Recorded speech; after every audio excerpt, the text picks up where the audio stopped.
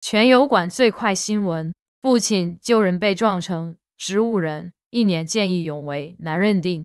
湖北荆州六十五岁父亲遇伤者施救反被撞，申请确认见义勇为一直受阻，被拒理由是不够轰轰烈烈，案件牵扯赔付款及救治问题，家庭力不从心，父亲卧病在床急需救治款，当事人控诉持审批肇事者逃避责任。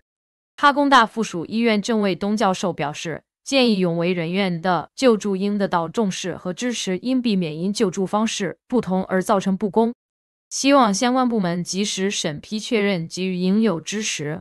订阅新闻极速的最先知小天下事。